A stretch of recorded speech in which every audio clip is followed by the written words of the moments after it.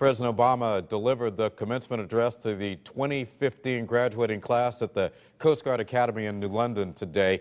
President just finished off his remarks. Let's get you out live to News 8's Tina Detelj, who is inside of the stadium where that ceremony is still going on. Tina.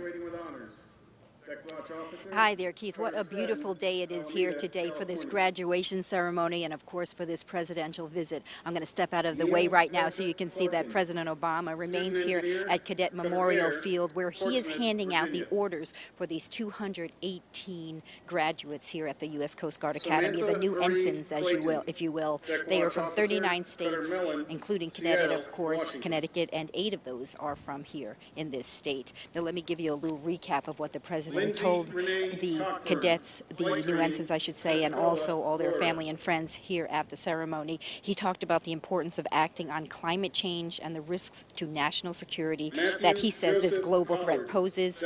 He says it contributes to extreme weather, wildfires, and drought, and drought, and that rising temperatures can lead to more smog and allergens. He also talked about the vulnerability of militaries the military's 7,000 bases and installations. Down in Norfolk, they've seen flooding. He also talked about the thawing permafrost in Alaska and the drought and wildfires that they have seen where troops train out west.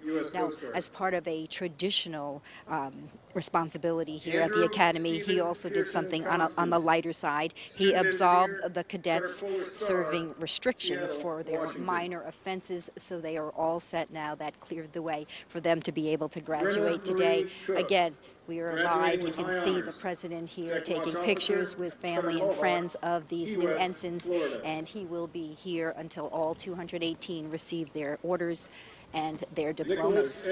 We'll, of course, have more on this coming up live later on today. For now, though, we are live in New London. Tina Detelj, News 8.